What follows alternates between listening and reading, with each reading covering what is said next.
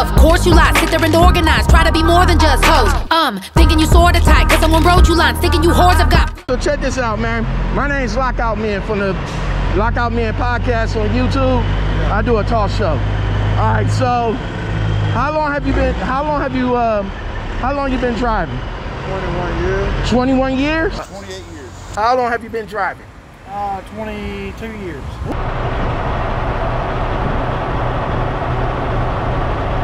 About 15 years. 12 years. 12 years. Throughout your 21 years, what is the most exciting state that you drove through?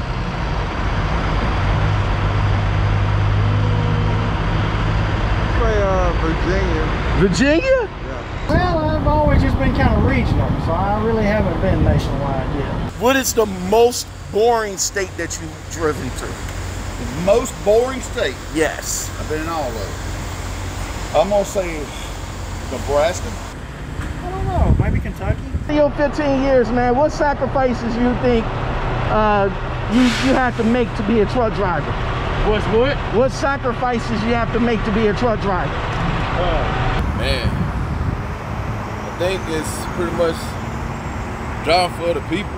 Cause you know you you in the truck, the other people can just be, you know, they don't give a doggone about a truck driver, and you got to kind of drive for people, other people. All from home, family, kids.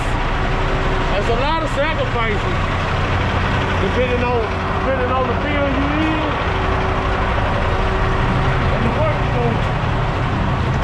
All right. Nebraska. It's as flat and long as hell. Some people say California, but I like California because there's a lot going on. But Nebraska's open and flat. There's nothing going on. How old how old were you when you decided you wanted to drive a truck? 21. 21.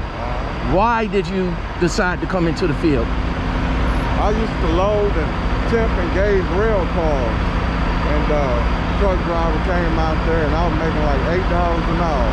He said, hey man, you know how operate all this equipment, why don't you just drive and make more money? show me a paycheck stub. I got on it. That was in 2000. Okay. What do you do to keep up the energy on the road? My energy goes downhill. At 28 years, and I like to sleep too damn much. I sleep late every morning, and I like taking naps in the daytime. So what I do, a lot of dang Mountain Dew and Pepsi, chew, a lot of bubble gum, a lot of water, and stop, take every two, three hours, you're still awake. That's- It's, it's getting old and boring out here. What made you want what made you want to be a truck driver at 23? Just needed, trying to get the money, trying to follow that dollar. I mean, that's a deep question right there. What are some of the issues truck drivers face in the industry today? Uh, well, my my behalf, uh, not too much or nothing. I mean, just you know, I guess just maintain the working and try not to with, with accidents, prevention, and staying safe. All right. What are some of the issues drivers face in the industry today?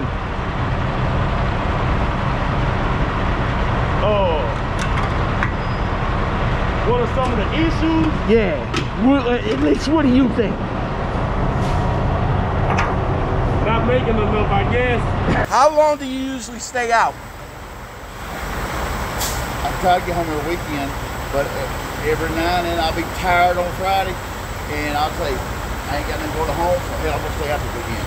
That's what's up. But I'll, if, if I feel good, I always, I'm always home every weekend. But if I'm, just say I'm in the Carolina on Friday at noon, and it's 600 miles home, I'm just tired, pissed on, I'm not going home. Did you go to a trucking school or did you pay for it out of pocket? I went to a trucking school, but I knew how to drive before I went. Well, as I said, my dad drove, so by the time I was about 15, I was taking care of business, so I didn't have to. I didn't have to do school. So All right. got lucky there. So you've been in it for 15 years so far, right? Yeah. Where do you see yourself in the next five? Say what? Not driving. Not driving. Is any of anybody in your family was truckers before you? Yes. Your father? Yes. How long have you been driving? Uh, probably at least 30, 30 years at the time he quit. think you and your dispatcher get a, get along well? You think your dispatcher keeps you running, keeps you uh, keeps your money coming? Oh, most definitely. Most definitely. I just uh, been here for almost a year already, so it's been pretty good. All right. What is your favorite What is your favorite part about being a truck driver? Freedom. What do you wish you would have known before you became a truck driver? That's easy. Remember, I was talking about today. Benefits, retirement. If I knew what I knew now, I'd work for you would work for UPS or FedEx, and I could be retiring right now. So school's out, Uh-huh. so you just went on ahead and just got your license. Oh, yeah. Explain uh, explain everything. Okay. Um, where we're at in this region here, we're real close Memphis Nashville rail yards. So they were needing rail drivers out the wazoo, you know. Okay. So uh, once I let them, once I road tested and they seen that I had the experience that I needed, they said, "Here you go." So I had my own truck time. Okay. So and I still have my own truck. I just I work for ABL, but Okay. I have a driver in my truck. I was told, man, get there, run a thousand mile a day, run outlaw, run two, three log books. That's how I learned how to drive a truck. I wish I'd have learned the other way around. And tell me a time you had to handle a tough situation at a shipper or a receiver. Uh, but see, we go into uh, a lot of neighborhoods, uh, construction areas, and it's, it can be kind of tight.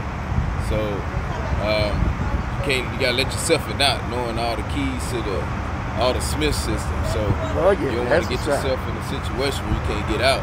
All so right. uh, it's always good to knowing where you're going, and uh, you know, it'd be a situation where you got different other trucks parked where you can't get through. So you got to kind of communicate with the other driver to the vehicle to, you know, actually move so you won't prevent no accidents. So All right. Did you see? Did you see the video of the ABF driver Yes. In Florida? in Florida? Yes, I did. And I think it scared the daylights out of all of us. Florida be like, what the fuck? Holy shit! Oh my god! what, what, what, what was your opinion on that? We never got, we never got the, the whole story, even from our company. But I don't know the situation that driver was in, so I really can't put myself in his shoes. But I don't know what would possess somebody to jump on the hood of one of these things and try to hold on. For dear life? Yeah. But on that note, I don't know what would possess somebody to jump out in front of one of them anyway. You know, right? But anyhow, that's what it is. I appreciate it, man. Appreciate you, man. How many miles have you driven in your career? I probably I average about 125 a year, 130. I've been driving 28 years, well over a million miles. Woo! Probably two or three million. Woo! Check me out on the Lockoutmen podcast show on YouTube. All right. All right. I'm Bro, I might be the smallest nigga in this bar. Very first. Oh, what? How you feel? Okay. That's how you feel? Uh, Swing the wing, mix gone. Oh, how you feel? Uh, how you feel? Uh, Okay? How you feel? How you feel?